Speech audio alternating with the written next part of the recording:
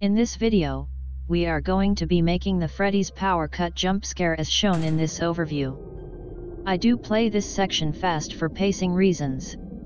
It will spawn Freddy and then play music and then a delay which leads to a jump scare. You can see I also added the flashing eyes too. I use the techniques from another video I did a few weeks ago about objects reacting to audio which I show again in this video. To begin with, I am going create the power down effect before Freddy appears. I start by importing the audio SFX for the power going down. You can get this online. Right click this and create a cue out of it. I like using cues as it allows me to edit the audio in it later or if I wanted to add spatialization. Open it and if you do have an attenuation asset, you can just place it in this box. I think I created this asset a while back. Save and we can go to our game mode, this is where we deal with all of our power system. Find your adjust power function and go through this line of code to refresh your memory on what it does. Next, towards the end of the code, you can delete the delay, open level, and input disable nodes. After this node, we will remove all animatronics, play the power down SFX and spawn in Freddy. This is optional but first, search for a Get All Actors of class. Select Master Animatronics class. Add a for each loop, and add a Destroy Actor to the end. Make sure the target is connected to the array element. Now on completed, search for play sound at 2D or location. Select the power down SFX cue. I used a location but it is unnecessary for this sound. I use get player pawn and search for get actor location and connect that to the location. Next add a delay.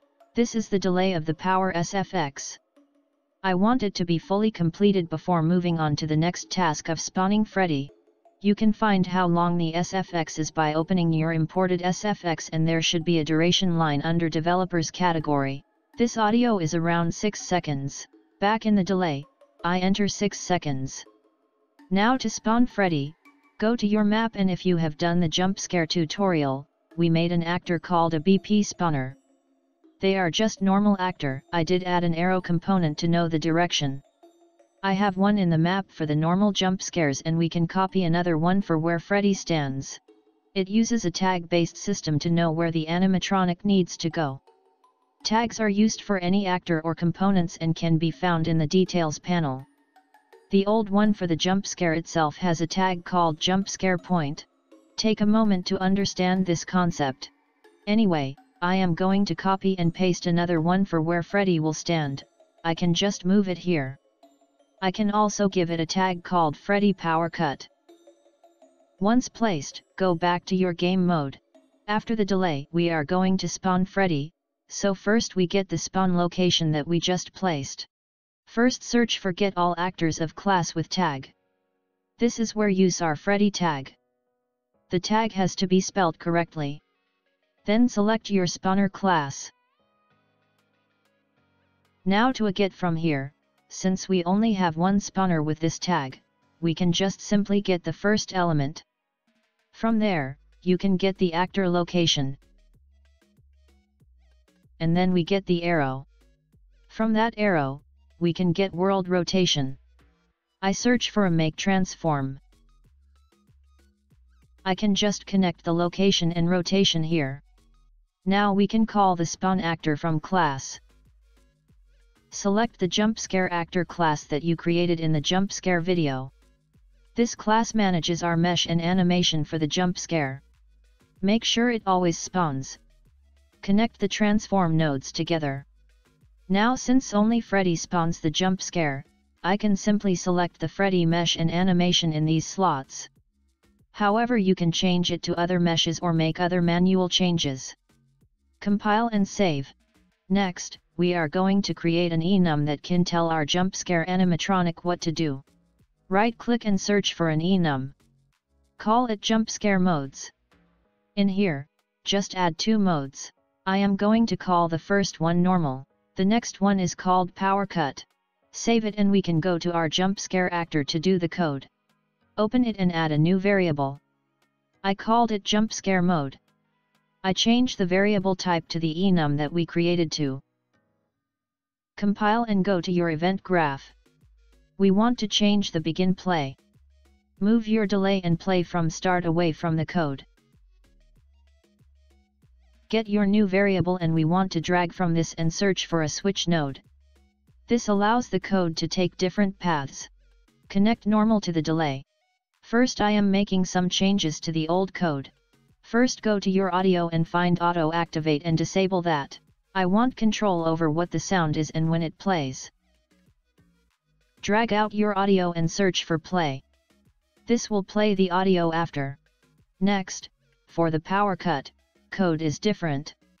First, get your animatronic mesh and importantly, set your relative location to 0, 0, 0.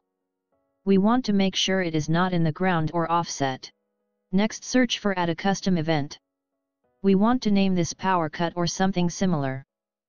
We can add this custom event after the set relative location. Now back in this event, I will first create the overall steps before I put in details like flashing lights and SFX. Get your player pawn and I have this on jump scare interface. You would have created it in another video linked here. All this is in the player blueprint and it deals with disabling input and make sure you face the front. Connect your interface and after, search for a delay. This can 1 second. This next bit is the same as spawning but instead of spawning, I want to set actor location to the center jump scare point. Get your actor of class with tag. Select the spawner. Now the tag is not the same as before. Go back to your map. The spawner that I am talking about is this one in the office, the main jump scare point, we need to get this tag, copy that tag and then continue. Now search for another get node. Get the actor location and actor rotation.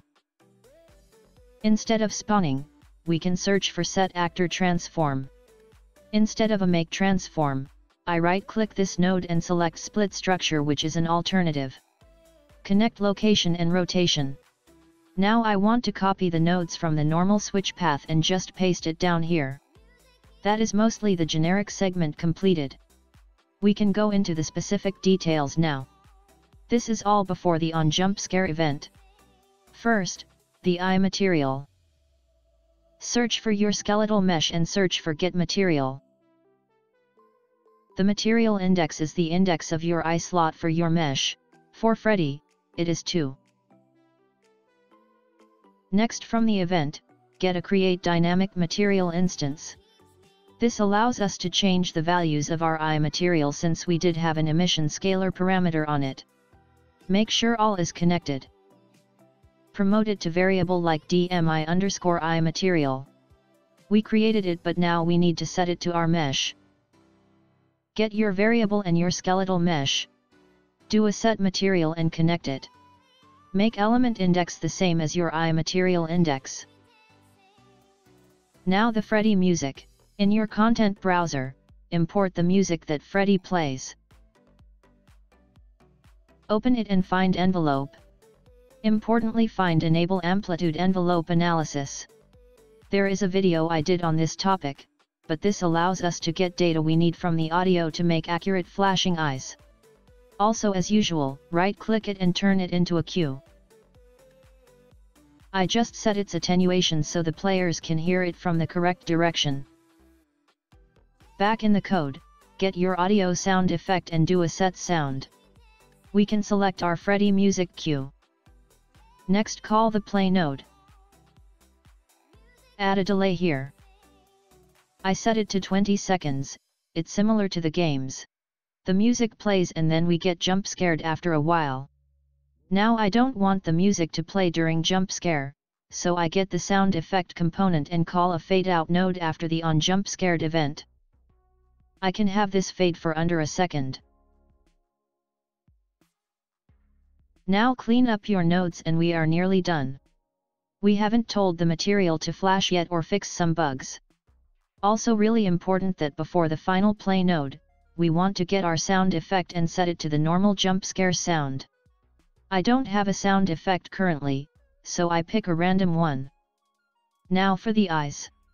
In your sound effect details panel, if you scroll down to the bottom, you will find a few green buttons. Click on audio playback percent. Now get your sound effect and search for a node called get cooked envelope data. Now we can get our material variable and call a node called set scalar parameter.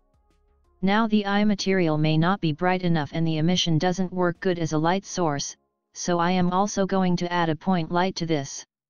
Attach it to the skeletal mesh.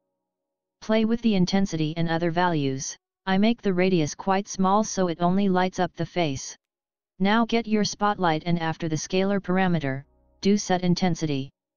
So now we need just give both of these nodes their values. From the cooked data, get a multiply node, the value is 5 but I do increase it. Connect and change parameter name to the one in the material that you made for the eyes.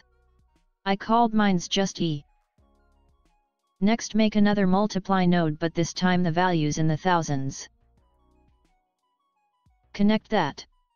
Now some bug fixes. First thing we missed was this variable. We haven't set it yet. On your variable, make it public and expose it to the spawn actor nodes. This allows us to change it back in the game mode. Go to your game mode, right-click, and refresh the spawn actor node. You can set this variable to the power cut value. Next back in the jump scare actor, I mess around with the lights a bit more and increase the values. Now you can compile and test it.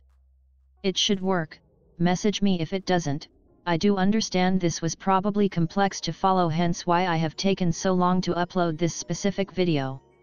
On Discord, I can help you a lot more with screenshots too. I hope you enjoyed this video and consider subscribing and sharing. See you next time.